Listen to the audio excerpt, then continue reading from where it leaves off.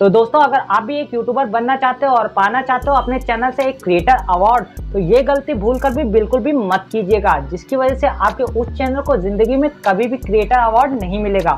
तो दोस्तों, मैं ऐसा इसलिए कह रहा हूँ कि वो गलती मैंने भी कर दी है, जिसकी वजह से मुझे भी क्रिएटर अवार्ड नहीं मिल पाया।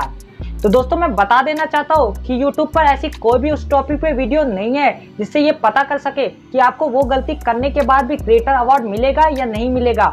और जानते हैं वो गलती क्या है, जिसे करने पे आपके चैनल में भी ये प्रॉब्लम आ सकती है। और उससे पहले चैनल पे नया है तो चैनल को सब्सक्राइब कर कर वीडियो को लाइक ज़रूर कर दीजिएगा, जिससे डेली आपको काम की वीडियो मिलती रहे।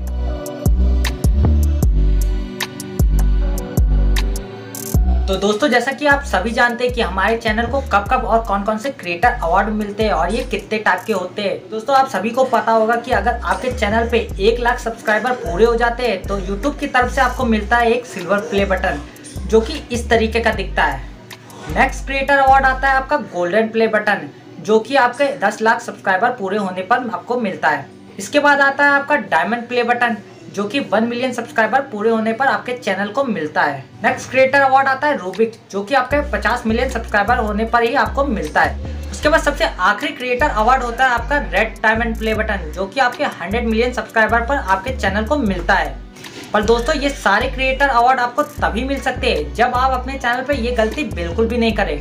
तो दोस्तों, अगर आप अपने चैनल पर किसी की भी वीडियो डालकर अपने चैनल को मोनेटाइज करने के लिए देते हैं, जिसकी वजह से यूट्यूब आपके चैनल को रियूज कंटेंट दे देता है, जिसके बाद आप अपने चैनल की सारी वीडियो को डिलीट कर कर अपने खुद के को कंटेंट को बनाते हैं और अपने चैनल को मोनेटाइज करने के लिए अप्लाई करते हैं, जिसके बाद आपका चैनल मोनेटाइज भी हो जाता है। तो भी आपको यूट्यूब की तरफ़ से कभी भी क्रिएटर अवार्ड नहीं मिलेगा। तो दोस्तों, जैसा कि मैं आपको बता देना चाहता हूँ कि YouTube मोनेटाइज पॉलिसी और क्रिएटर अवार्ड पॉलिसी दोनों का आपस में कोई लेना देना नहीं है। और अगर आपका चैनल नहीं मोनेटाइज हुआ है और फिर भी आपके एक लाख सब्सक्राइबर पूरे हो गए तो भी आपको क्रिएटर अवार्ड मिलेगा।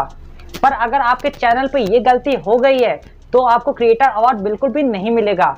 पर फिर भी अगर आपके चैनल पर यह प्रॉब्लम आने के बाद भी आपको क्रिएटर अवार्ड मिल गया है तो कमेंट में ज़रूर बताइएगा।